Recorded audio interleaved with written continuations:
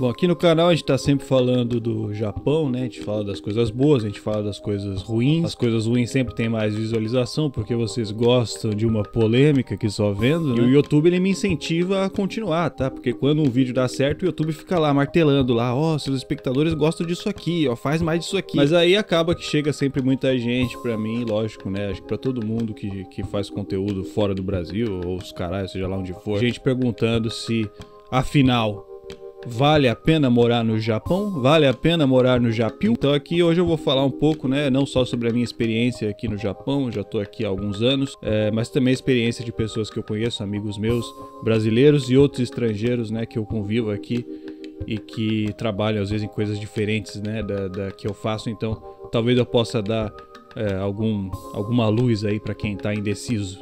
Bom, como vocês já sabem, né? Acho que a maioria de vocês sabe. Tem gente que não sabe. Tem gente que às vezes me, me manda mensagem é, achando que eu sou descendente, né? De japonês, mas eu não, eu não sou descendente de japonês, tá? Não sou casado também. Parece um jogo, mano. É, eu vim aqui pro Japão como estudante para estudar hum. japonês numa escola de idioma por seis meses, né? E aí, enquanto eu tava estudando, eu fui procurando emprego até que eu fui contratado por um estúdio de games, que é onde eu trabalho até hoje aqui em Tóquio, né? E, e aí a minha empresa entrou com um pedido na imigração para alterar o meu visto de estudante para trabalho, né? Hoje eu estou aqui no Japão com um visto de trabalho de 5 anos, um visto renovável, mas é, vocês sabem, né, que esse, esse não é o caso da maior parte dos brasileiros que vivem aqui no Japão, né? A maior parte deles são é, realmente né, os decassegues, né, que eles falam, são os descendentes de japoneses que vêm aqui para o Japão é, por meio de agências, né? Geralmente são agências que tem aí no Brasil, agências de emprego que contratam os descendentes para trabalhar nas fábricas aqui do Japão, que é onde o Japão tem o maior déficit de mão de obra, né? E isso é uma coisa que muita gente pergunta, tá ligado? Pô, sem ser descendente, dá pra ir trabalhar nas fábricas, tá ligado? Não dá, né? As fábricas, elas só contratam descendentes porque os descendentes têm direito a um visto especial, né? É um visto diferente do meu. Eles podem fazer qualquer coisa aqui no Japão, tá ligado? Eles podem trabalhar em qualquer tipo de serviço. Então eu não poderia, por exemplo, né, com o visto que eu tenho hoje, eu não poderia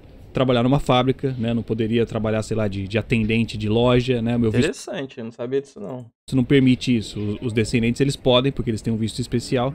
Hum. E por isso que as fábricas, as agências aí do Brasil só contratam quem for descendente de japonês, tá ligado? E aí assim, né? Apesar de eu não é, trabalhar nas fábricas, né? Eu conheço muitos brasileiros, né? Tenho muitos amigos brasileiros aqui que moram aqui e que trabalham ou que já trabalharam é, nessas fábricas, né? E o pessoal geralmente sempre comenta é, as mesmas coisas, né? Tipo, ah, é um trabalho cansativo, né? As cargas horárias. Eu imagino, cara, trabalho assim com físico deve ser, deve ser não, é horrível, né? Porque eu já trabalhei, cara, não dá. São, são bem altas, né? Chegando ali. Não nasci para isso, isso eu falo. 12, 14 horas por dia às vezes, né? E, e, a maior parte das fábricas fica em cidades do interior, né? Então não tem é, também muita opção de entretenimento, né? De lazer. É, mesmo nas folgas não tem muita coisa para você fazer, tá ligado? Com o dinheiro que você ganha, né? E assim, todos esses esses descendentes que eu conheço aqui, né, que trabalham, que já trabalharam nas fábricas, eu conheci aqui na região de Tóquio, porque desde que eu vim pro Japão eu não saí daqui, né? É, mas a maior parte deles não veio direto do, do Brasil aqui para a região de Tóquio, né? Eles vieram para cidades do interior, juntaram algum dinheiro e depois se mudaram aqui para a capital. E além disso também tem uma coisa que muita gente fala, né? Que tem muitas dessas fábricas que elas funcionam num esquema de, de turno alternado, né? Que eles chamam, que é tipo assim, uma semana você trabalha de dia e na seguinte você trabalha de noite, tá? Eles fazem isso por... Merda que deve ser isso, hein? Porque o turno noturno ganha mais, né? Por lei. Por lei a empresa é obrigada a pagar... Qualquer parte do mundo é no pagar acho que é 25% a mais para quem trabalha de noite, né? Então, para não ter diferença de salário, né? Entre o turno diurno e o turno noturno, eles fazem todo mundo trabalhar de dia e de noite simultaneamente, né? Aí, tipo assim, no, no caso, você trabalha, sei lá, tipo, numa semana você trabalha, tipo, das 8 da manhã às 8 da noite, e na semana seguinte você trabalha das 8 da noite às 8 da manhã, né? Tem que ficar invertendo o seu relógio toda semana. E Imagina a confusão, cara. Deus me livre, você dormir, acordar, Deus me livre. E a parada é o seguinte, né? Tem que entender assim que esses trabalhos em fábrica, eles são geralmente, né, os trabalhos que os japoneses não querem fazer, né? É tipo, é tipo o que sobra para os estrangeiros, né? Então, lógico que não vai ser um trampo né? Um tampo top, assim, que você vai querer provavelmente fazer pro resto tá da sua ganhando vida. já né? os ienezinhos, né? É, é, lógico que tem também fábricas que têm um serviço mais leve, às vezes não exigem tantas horas extras, mas aí é lógico também que você não vai ganhar tanto dinheiro, né? Porque os brasileiros que vêm para cá trabalhar em fábrica, eles geralmente vêm para cá mais pensando no dinheiro mesmo, né?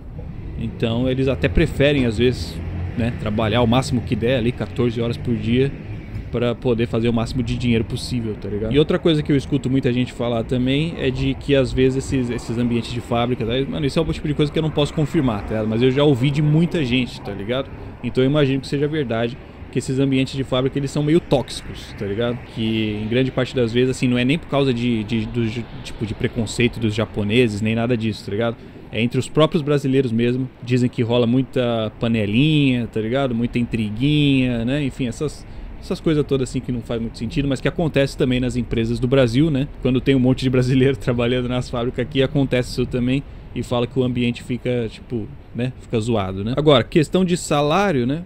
todo mundo sempre meio que concorda que ganha bem, tá ligado? Mas Aqui que tá um bagulho que eu acho que, tipo, acho que é importante comentar isso, tá? Porque assim, como os salários do Brasil são muito baixos, né? É, é, comum a gente ficar deslumbrado, tá ligado? A gente, a gente vê lá um trampo lá pra, sei lá, tipo, pra empilhar caixa, né? Numa fábrica aqui no Japão e o bagulho paga, tipo, a mesma coisa que um engenheiro ganha no Brasil, tá ligado? Aí a gente já, tipo, a gente já fica louco, né? A gente já fica achando que vai ficar rico empilhando caixa. Mas porque nego vive fazendo conversão, né? Nego não vê a realidade. Porque, tipo assim, você ganha em ienes, você gasta em ienes. É a mesma coisa quem mora aqui no, nos Estados Unidos. Você ganha em dólar, você gasta em dólar. Tipo assim, se você for converter, realmente, tipo assim, tá 1 por 5. Eu não sei quanto é que tá o ienes por real. Mas, tipo assim, quem faz 4 mil dólares dá exatamente 20 mil reais. Aí o nego fica, caraca, eu vou lá, vou fazer isso. Mas, mano, se não. No Japão, né? Mas não é bem assim, né? Primeiro porque o custo de vida é, aqui no Japão, mesmo na cidade de interior, né? O custo de vida é mais alto que no Brasil. Então, é, não faz sentido a gente ficar deslumbrado Aí, com um salário convertido em real, né? Porque enquanto a gente estiver trabalhando aqui, a gente vai estar tá tá gastando. gastando. dinheiro aqui no Japão, né? Então, é, o custo de vida vai ser mais alto. É lógico que Ainda assim, né, mesmo com o custo de vida aqui sendo mais alto, é muito provável que você tenha aqui um poder de compra bem mais alto do que você tinha no Brasil, né? Num, num trabalho normal no Brasil. Isso é quase certeza, tá ligado? Mas essa ideia assim de que, ah, você vai vir pro Japão, trampar dois anos, guardar dinheiro pra caralho e voltar pro Brasil rico. Isso geralmente não acontece, tá ligado? Talvez fosse possível até nos anos 90, né? Quando a economia do Japão tava um pouco mais, é, mais bombando, né? Mas hoje em dia isso é mais difícil de acontecer. Até onde eu sei, né? Do pessoal que eu converso aqui, que trabalha nas fábricas ou que já trabalhou aí no, nos últimos tempos, né? A média salarial das fábricas hum. parece que fica ali em torno dos 180 aos 280 mil ienes. Se, se alguém tiver uma informação diferente, aí me corrija também, tá ligado? Mas até onde eu conversei com o pessoal, parece que é mais ou menos isso, tá ligado? Entre uns 180 até uns 300 mil ienes ali, mais ou menos, né? É, na conversão direta, né? Na cotação atual, isso ficaria ali entre uns 7 e uns 11 mil reais, mais ou menos, por mês. Mas lembrando, lógico, né, que o custo de vida aqui é mais alto. Então, é, você talvez. Caracas, e continha, hein? Não sentisse como se fosse todo esse dinheiro aqui no Japão. E aí, claro, né? O quanto mais você você trabalhar, né? Quanto mais hora extra você fizer, mais você ganha, né? Os caras que trampam, tipo, pelo menos 12 horas por dia, 6 dias por semana, são os que acabam chegando ali nos 300 mil ienes, é, geralmente, tá ligado? Aí assim, né? Se vale a pena ou não, aí, tipo, vai de cada um, tá ligado? E, e assim, né? Até tem fábricas que não exigem hora extra mas algumas exigem, tá ligado? Tipo assim, no caso, tipo, não é opcional trabalhar 12 horas por dia, né? O bagulho vem até escrito no contrato às vezes. Obrigatório. Né? Parece que, tipo, vem escrito lá, ah, você trabalha, tipo, 8 horas e mais 4 horas extras por dia, né? Tipo, é obrigatório, né? E... Caraca, mano, o que, que a pessoa né, se submete para poder fugir do Brasil, né, cara? Tá certo. Tá então, é claro, né? Como eu falei, não é o trampo dos sonhos, né? Mas geralmente são coisas bem simples também, né? Que não exigem nenhuma, é, nenhuma habilidade excepcional, tá ligado? Apesar de ser cansativo, não é algo que você vai ter, assim, que pensar muito. Mais de 12 horas, caraca, é muita coisa, muito, né? muito tempo. E no fim você vai ganhar bem, né? Pelo menos. Bom, isso tudo que eu tava falando aqui até agora é da galera que é descendente, porque eu recebo, tá? Muita pergunta de gente que é descendente falando, pô, mas vale a pena mesmo ir trampar nas fábricas e tal. Não sei se o pessoal acha que eu sou descendente, ou que eu trabalho em fábrica, ou que eu já trabalhei, não sei. Mas como eu tenho essas informações aqui também, né? Do pessoal que eu converso, não, tenho, não tinha por que eu não falar, né? Mas que nem eu falei, né? No meu caso, é, eu trabalho num estúdio de games, né? Uma empresa relativamente grande, né? E tem escritório lá nos Estados Unidos também. E é cheio de estrangeiro trabalhando lá, tá? Tanto que no escritório a gente só usa o inglês mesmo, praticamente. Né? A gente só fala inglês porque praticamente todo mundo ali do meu setor, todo mundo que eu preciso conversar, é todo mundo estrangeiro mesmo. E os próprios japoneses que trabalham comigo, meus chefes que são japoneses, tudo falam inglês. Inglês. É, perfeito, tá ligado? Então a gente só fala inglês praticamente. Eu já falei isso várias vezes, né, aqui no canal, mas vale sempre ressaltar que assim, um dos requisitos da imigração japonesa para conceder esse visto de trabalho, né, é que o estrangeiro tenha ensino superior, tá ligado? Parece que até tem alguns casos. Interessante, é interessante. Quem tem superior tá afim de fazer um né, intercâmbiozinho lá no Japão. Em que o estrangeiro não tem ensino superior e mesmo assim acaba conseguindo visto de trabalho. Mas é só quando, tipo, a pessoa já tem, tipo, uma carreira fodida, assim, tá ligado? Pô, se o cara já tem, tipo, décadas de experiência no bagulho, né? Já trabalhou um monte de, de, de empresa grande, né? Tal. Aí a imigração até pode abrir uma exceção, mas no geral é, ele, a imigração exige que você tenha um, um, diploma de ensino superior. E isso é a imigração que pede, tá? Às vezes, assim, pode até ser que tenha alguma empresa aqui que queira te contratar, mesmo que você não tenha uma faculdade, né? Mas na hora da empresa pedir um visto de trabalho para você lá na imigração, a imigração pode acabar barrando por você não ter um ensino superior, entendeu? E assim, né, também eu sempre falei isso, mas vale ressaltar que você só consegue pedir um visto de trabalho depois que você já está contratado por uma empresa japonesa, tá ligado? Tipo, não dá para você tirar um visto de trabalho do nada e depois vir para cá procurar emprego, né? Já tem que ter uma Bom, isso tá dando tudo mastigadinho. Empresa Boa. aqui disposta. Então, quem não, não tem já o trabalho, desiste. Disposta de contratar só para poder entrar com o pedido do visto, né? E a imigração ainda pode recusar, né? Mesmo você já estando contratado, a imigração ainda pode recusar. Mas aí assim, né? Quando a gente fala desse, desses empregos mais, mais de escritório, assim, né? Aqui no Japão, eu acho que a gente tem que dividir também em duas categorias, tá ligado? Porque tem empregos em empresas japonesas mais tradicionais, né? E tem empregos em empresas mais, mais moderninhas, tá ligado? Mais americanizadas, né? Que tem bastante estrangeiro e tal, né? E eu tenho alguns amigos estrangeiros, né? Que trabalham em empresas japonesas tradicionais. É, tenho amigos japoneses também, lógico, né? Que trabalham em empresas japonesas tradicionais. E eles também reclamam bastante, tá ligado? De algumas coisas, né? Tipo, dizem que também tem muita hora extra, né? Tem toda uma regra de, de comportamento, de hierarquia, né? Que tem que, que, os, que usar, que seguir dentro da empresa lugar feio, cara. Pelo amor de Deus. É, né? Eu já ficava com medo aqui no, no, nos becos aqui, nas, nas áreas. E além, lógico, de ter que falar o japonês fluente, né? Nas empresas mais tradicionais, ninguém vai estar tá falando inglês ali, né? Tem um cara aqui escondido aqui pra te dar uma facada, qualquer coisa você nem vê. E um negócio que eu acho engraçado, né? Que eu já ouvi muita gente me falando sobre isso, né? É, lógico que assim, que nem eu falei, né? Eu também nunca estive numa empresa tradicional japonesa, mas o pessoal. Uma geladeira pro lado de fora. O pessoal me conta, né? Que a proatividade é mal vista na, nas empresas mais tradicionais, tá ligado? Porque os japoneses, eles seguem muito esse bagulho assim de que, ah, cada um tem a sua função, tá ligado? Então, tipo, se você tenta ser proativo, os outros vão achar que você tá querendo, tipo, demonstrar que alguém não tá fazendo o trabalho dele direito, tá ligado? Que você tá, tipo, tendo que fazer algo além da sua função por incompetência dos outros, né? Então, tem muito esse bagulho assim de cada um faz o seu bagulho e ninguém sai do escritório até o último terminar. É o único lugar que realmente, então, você só faz a sua função. Aí sim é bom, pô.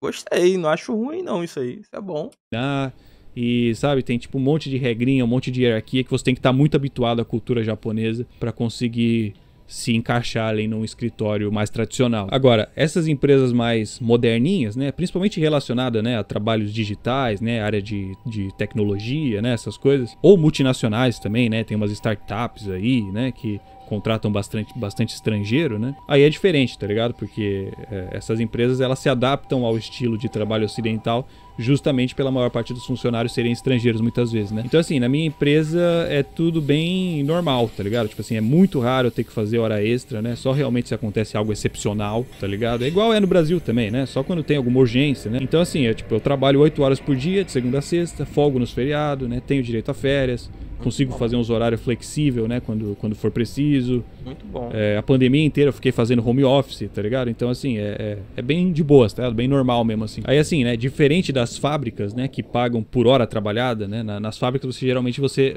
vê lá o anúncio lá da, da vaga, o salário ele vem, tipo, por hora, né? Você trabalha por hora. Então, quanto mais horas você trabalha no dia, mais você ganha, né? Nos escritórios não é assim, né? Nos escritórios você geralmente recebe um salário fixo por mês assim como é no, no Brasil, tipo, nos outros países, né? E aí, claro, né, como, como é um trabalho que exige qualificação, né, os salários eles são bem mais altos do que os salários de fábrica geralmente são, né? Isso também, qualquer lugar do mundo, né? Agora sim, a grande questão aqui, eu acho que é, porque tipo, pô, até aí tudo perfeito, né? Pô, vale a pena pra caralho, né? Mas a grande questão é, é fácil conseguir um visto de trabalho, arranjar um emprego desses, tá ligado? Provavelmente não. Não é, né? Não é, obviamente não é, porque aí é diferente dos trampos de fábrica, né? Esses trabalhos assim, né? Exige um estudo, né? Qualificação, não é assim, né? Escritório, eles não estão, eles não estão sobrando, né? Então você vai ter que competir tanto com, com os japoneses pessoas. que são extremamente qualificados, quanto com outros estrangeiros de países ricos, né? Que também são muito qualificados. É aquilo que eu, eu já falei isso algumas vezes, tá ligado? Mas, tipo assim, a chance de você conseguir um trampo desses, né? Um trampo bom, assim, no escritório da hora aqui em Tóquio, é até menor do que de você conseguir um trampo desses em Nova York, por exemplo, tá ligado? Ou sei lá, em Toronto, ou seja lá onde for, tá ligado? Então, assim, se você tá pensando, tipo, sei lá, em sair do Brasil só por causa de dinheiro, é melhor você ir, tipo, pro Canadá, tá ligado? Sei lá, lá a imigração é menos exigente, né, do que aqui no Japão. E os... Muita gente fala isso sobre o Canadá, né? Como é mais fácil emigrar pra lá. Até pros Estados Unidos, cara, é difícil pra caralho, tá ligado? Tipo assim, os caras não te dão um bagulho de carreira que você vem estudar, aprender a língua, e é isso, tá ligado? Os caras não te dão a oportunidade de você crescer. Pelo menos no Japão ainda tem essa oportunidade aí, tá ligado? Se você é qualificado, vai embora. E os salários são até mais altos do que aqui no Japão, né? Então, assim, para você querer competir no mercado de trabalho japonês, tem que ser porque você gosta do Japão e você quer morar aqui especificamente, tá ligado? Só pra vocês terem uma ideia, assim, né? Enquanto eu ainda tava aqui como estudante, né? Hum. Tinha, sei lá, umas 15 pessoas lá na minha sala da escola, né? De japonês, gente do mundo todo, né? Os gringos, americano, europeu, chinês, né? E, e a maior parte da galera tava, assim, que nem eu, né? Procurando emprego para ver se conseguia trocar o visto de estudante por um visto de trabalho antes que o visto de estudante expirasse, né? E aí, tipo, até onde eu sei, né? Até onde eu sei, lógico que depois eu perdi também contato com a maior parte da galera, mas até onde eu sei, da minha sala ali, eu fui o único, né, que realmente conseguiu, assim, passar no processo seletivo de uma Maneiro, pô, parabéns. Congratulations. empresa japonesa e conseguir um visto de trabalho, né. Até teve gente que, que conseguiu ficar no Japão depois que acabou o curso de japonês, né, mas de outras formas, tá ligado? Tipo, ou casaram com um japonês, ou estenderam o visto de estudante, né? Teve gente que foi fazer faculdade aqui no Japão, né? Depois que acabou a escola de japonês, mas aí precisa ter dinheiro também, né? Para pagar a faculdade. Ou tinha gente que tinha amigos aqui no Japão que eram donos de empresas e aí ajudaram, tá ligado? Então, assim, cada um deu seus pulos, né? Mas, tipo, realmente, assim, você ir, tipo, e conseguir o um emprego e fazer todo o processo e conseguir um visto de trabalho, é, não é fácil, tá ligado? A maior parte da galera não consegue. Né? Na minha empresa mesmo, né? Que nem eu falei, eu não fui contratado direto, né? Foi um processo seletivo com um monte de outros, de outros estrangeiros, né? Eu tive que fazer vários testes disputando com várias, várias galera. Durante as entrevistas, porque foram mais de uma entrevista, inclusive. E depois, né, de todos os gringos que fizeram os testes, eu e uma mina, é, a gente foi é, selecionado para fazer ainda um período de experiência de dois meses, ainda com visto de estudante, né? Ela também estava com visto de estudante igual eu, né? E a gente fez esses dois meses de período de experiência e aí no final é, só eu fui efetivado ainda por cima, tá? Eu consegui o visto de trabalho e ela não, né? Aí não sei também depois se ela conseguiu ainda algum trabalho ou se ela teve que voltar pro país dela, né? E assim, né? Pra mim, pelo menos, esses testes aí, né, esse período de experiência, esses bagulho foram muito importantes, tá ligado? Porque tipo, meu currículo, meu currículo é uma bela de uma bosta, né? Essa é a grande realidade. Meu currículo só serve para limpar a bunda e olhe lá, né? Porque, tipo assim, os caras que eu tava competindo, né? Eles eram uns gringos fudidos, tá ligado? Formados nas universidades mó top da Europa, dos Estados Unidos e tal, né? Com experiência em umas empresas mó grande e tal. Então, assim, se dependesse só do currículo, né, eu com toda certeza não, não teria conseguido o meu trampo, né. Eu acho importante falar isso, tá? Porque às vezes a galera chega perguntando, pô, Baca, mas você tem é, pós-graduação, você tem mestrado, você tem, tipo, experiência em umas empresas grandes. E eu não tenho porra nenhuma. E aí, quando eu falo que eu não tenho nada, fica parecendo às vezes que as empresas não são exigentes, né? Mas elas são, tá? elas são exigentes. É que, lógico, lá no, né, por sorte ali no, no, nos testes que me pediram, né, no período de experiência, eu consegui mostrar bastante resultado e tal, não sei o que, e acabei conseguindo a vaga mesmo é, competindo com pessoas muito mais qualificadas. E nós, Brazuca, se destaca, né? Quando é pra trabalhar, nós é nós. Do que eu, tá ligado? Inclusive lá no meu escritório, todos os meus colegas, é, é, até engraçado, tá ligado? Porque os caras são muito mais qualificados do que eu. Por isso tem que botar na balança e ver o que é melhor para você, porque é aquilo que eu falei, né? Se você, se você só quiser sair do Brasil para tentar ficar rico no exterior, vai pro Canadá, tá ligado? Vai pros Estados Unidos, sei lá, né? Vai para algum país que seja mais fácil de entrar e que os salários sejam mais altos, né? Não precisa vir para o Japão, né? Vê bem aí se você acha que vale a pena vir para o Japão competir no mercado de trabalho aqui, que é um mercado muito concorrido, se não for, lógico, né? É, se você for desse Conclusão, não vale a pena ir pro Japão se você não tiver qualificação. Aí é diferente, né? Mas se for para vir realmente para competir, para tentar entrar... Ah, que você também seja um, um descendente, né? Nas empresas japonesas, é, não vai ser fácil, tá ligado? Mas é isso, espero ter dado alguma é lugar para brasileiros em qualificações e ser descendente. É isso. Luz aí. A não ser que seja turista, né? Vai conhecer, viajar, essas coisas. E espero que vocês Muito tenham bom. gostado aí. É nóis, velho. Muito bom. Vá cagar aí. Gente. bom, muito bom.